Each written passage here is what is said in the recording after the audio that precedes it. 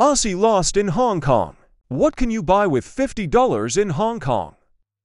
Breakfast here. Instant noodles with spam and egg. Thanks for watching.